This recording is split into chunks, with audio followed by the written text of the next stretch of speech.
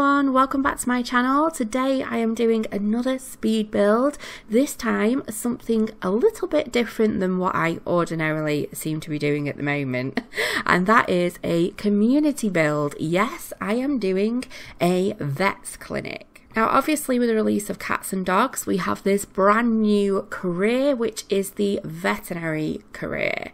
And I actually thought, to be honest, when they announced that obviously we were, we were getting a new career, I thought it'd be just like the scientist and doctor's career, where you just literally pick up your phone, find a job. You know, I thought it would be an interactive career, but I didn't realize that it was going to be a little bit like owning your own shop or bakery or whatever it is, where you have to actually buy the lot in itself. Um, now, with that being said, this isn't a starter vet clinic. Maybe I should do that. Maybe I should do that in the next one. But for this one, I actually created my own kind of let's play family and um, in it, I wanted to create a really nice vets clinic with no kind of money barriers or anything like that, but something very, very practical. Now, a little bit like when Get to Work released, we had these pre existing lots that were already built into the community. So, as a doctor, you had um, a pre built hospital. As a policeman, obviously, you had a pre built police station. But in these particular pre built buildings, um, they weren't very well, the items weren't very well placed in them. And I felt that in order to achieve gold in those careers, I was literally like racing around all over the place. So what I decided to do at the time was actually redesign the lots so that they were more practical, so that I had everything in each of the rooms that I needed to hand in a much smaller space. But I also went with the theme really well, laid out each of the rooms really well. Everything was just like very carefully planned out so that it made doing the career a lot more fun and I had a lot more time to play with to enjoy each of the activities that were set out to do during the working day. So when I decided to do this vets clinic, I again decided to do something that was really practical.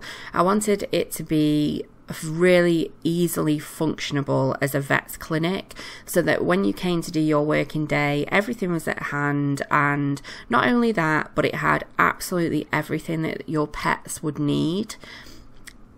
Now, at this point, I didn't actually trial the career until after I built this clinic. So I have made a couple of changes to it. I've just added in a couple of things and taken a couple of things away. Um, now, as you start to do the career, you unlock the option to hire more staff. Um, I'm not really sure what the maximum capacity is, but I know when I built this clinic, I placed in three of the examining tables, which meant that really only three of the staff at any one time time could, you know, be servicing customers. So I did end up adding in another one into one of the larger rooms at the back. Um, but yeah, with my vet's clinic, I have seen quite a few of them out already. Lots of people have redesigned and done their own vet's clinics, and there's some really, really lo lovely, lovely vet's clinics out there. But I wanted to do one that I thought was something that I would probably A, like to see, and B, more realistically see as well. So I went for quite a clinical look, really kind of clean lines. I had this um, really nice kind of pop of blue uh, colour on the exterior and kind of made this little logo up as well.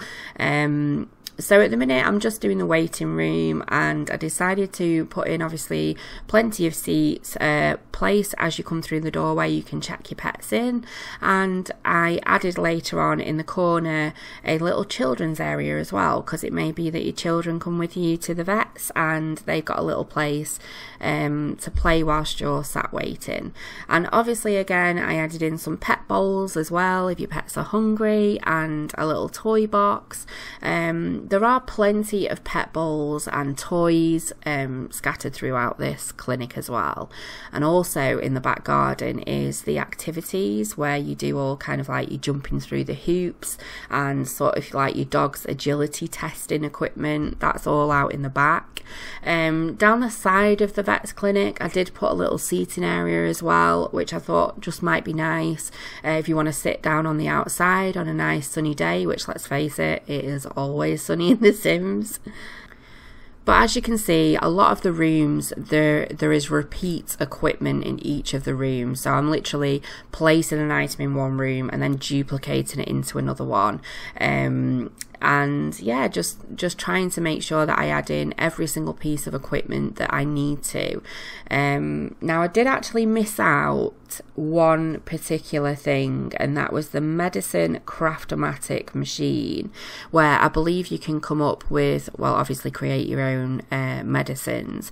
Now I think I'm up to sort of level 7 in the vets vet veterinary career at the moment and I haven't yet needed to use it so I'm not really sure at what point you will or if it's something that you would use at home but I did edit this this lot and you know I added one in basically so I must say, I'm really quite impressed with this career so far. It just feels really sweet and just, it's just a really nice touch to the pets sort of element, you know, the cats and dogs element to be able to have this career. I think it's a really wonderful career.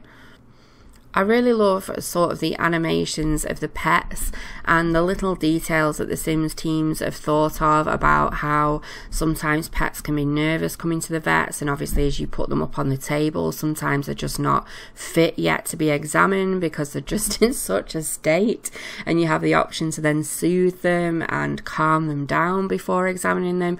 All those little details are really quite realistic, and that's what I love about building thing and what I love about The Sims from from sort of my perspective is that I like to create things that are quite realistic and like with this vets clinic I kind of imagine myself visiting this clinic in real life you know what am I likely to see? So I've got like these cabinets in there you know little um it's very plain as well. There's not lots of clutter there's not loads of plants or you know anything like that. It's just it's what I would expect to see if I went to visit a clinic.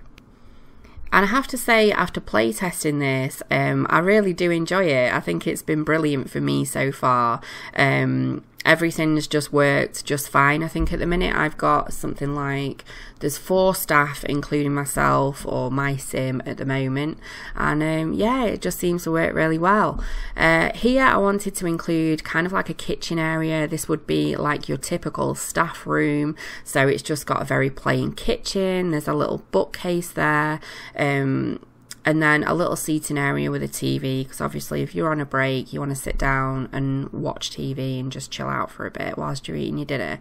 Uh, so yeah not a lot of personal detail. It's just very clinical very clean lines which is how I wanted to keep it so all the equipment that I did use, I think you get the option to have a budget version of a machine and then a more expensive version of a machine.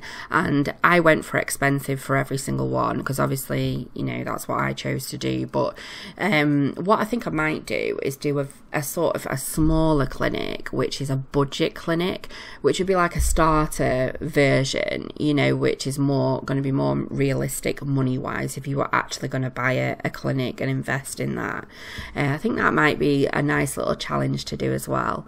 But this clinic was um, built on a 40 by 30 lot, obviously in Brindleton Bay. It was the lot that the original clinic was already placed on, on that end corner plot. Um, it comes in at just less than 163,000 simoleons, so that's not cheap at all. But I do, you know, I'm probably only going to have one clinic in this particular world and I thought it's kind of like a clinic slash hospital you know there's nothing that you can't get done at this clinic. So I thought why not you know let's just build one main clinic for the town. Um, and I think for the next clinics that I do I might place some in some other worlds. I'll do some different styles of clinics and obviously like I say some starter ones as well So again, moving back to the exterior of this build at the very front, I kind of kept it quite plain. I didn't include loads and loads of landscaping or bushes or flowers or anything like that because practically if you've if this is a lot for animals and a place where cats and dogs are going to go, that's kind of the last thing you're going to want to be planting because obviously they're going to end up getting ripped up. Um, so I tried to keep kind of like a realistic element to it when I'm thinking about the design and the front. You know, I've included these little bollards at the front as well. Um, there is a little bit of decoration, a couple of trees, a little bit of grass, um, just very plain looking at the front. And I have included these little benches as well with a couple of bins. It's just the kind of thing that I think I would see outside a clinic. And there's also a parking meter, even though there is nowhere to park. but I'm going to put one there anyway. They might want to park on the road, who knows? So I actually really enjoyed doing this community lot and I will be going around Brindleton Bay and obviously replacing the lots already in the world with new ones. So there will be more community builds coming up and I'm really looking forward to that because there's kind of like a bar area down at the bay um, or the dock I don't know what you would call it at Brindleton Bay and it's it's really nice but it's such a sweet area and I can't wait to kind of redesign all that and kind of you know with different running themes. Um, Have been asked to do some Hampton style houses and it is coming. I promise you it's coming. Um, but, you know, uh, in good time.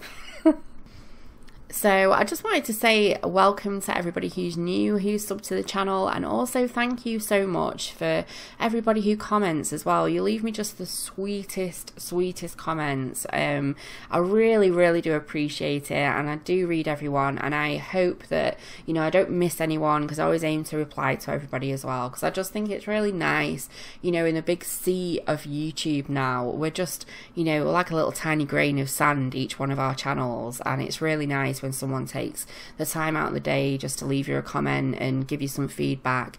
And even, you know, if it's things that you would like to see on the channel or you know comments about the build or even you know criticism if there's something that you think could have been done better i'm all down for for all of that reading all of it because it helps me to know that you're enjoying the content that i'm doing so I just wanted to say thank you very much for them. Really appreciate it. And it really brightens up my day as well. So it's actually Monday now, and I've just had a really nice, chilled out weekend with my family and with my kids. And well, I say chilled out, not everything's chilled out. My best friend has gone into labour finally, which I'm so excited about. Uh, she started up on Friday night with contractions, and everything is looking really promising. It's kind of like a slow process at this stage, but I spoke to her this morning, and everything's looking so so good and so promising. Things are picking up and stuff's happening, and I'm just getting so excited. Um, I really, really love her to bits. We've, I think I said this in the last video as well. We've been best friends since I was about seven, and she is just I really miss her because about sort of nearly seven years ago now, we actually moved uh, over 40 miles away from my hometown. So my bestest best friends are all back in my hometown, and I'm not just round the corner anymore. So kind of makes me a bit sad because I wish I was kind of there for these moments, you know, to be closer to home. Um, but I said to her, I'm on hand, you know, my phone's on. She can ring me anytime. I'll talk her through whatever she needs to know because having four children myself, I'm like um like a veteran this whole labour thing now. Um so yeah, I'm I'm so excited. I really really can't wait. And they've got some crazy names as well lined up for him. You know, she's got some amazing ideas for names, so I can't wait to find out what he's called because I really love different names as well. Um, my children have got, well, my eldest doesn't have a different name. I was quite young when I had him, um, but my others have kind of different names, like my daughter Delilah and Sienna and Jensen. They're not names that where I live are too popular, but I do like different names, so I'm looking forward to seeing she calls him. Ooh, and I can't wait for a cuddle. But anyway, guys, I hope you enjoyed this video. If you did, please leave me a big thumbs up. And if you're new, feel free to sub, and I'll see you next time.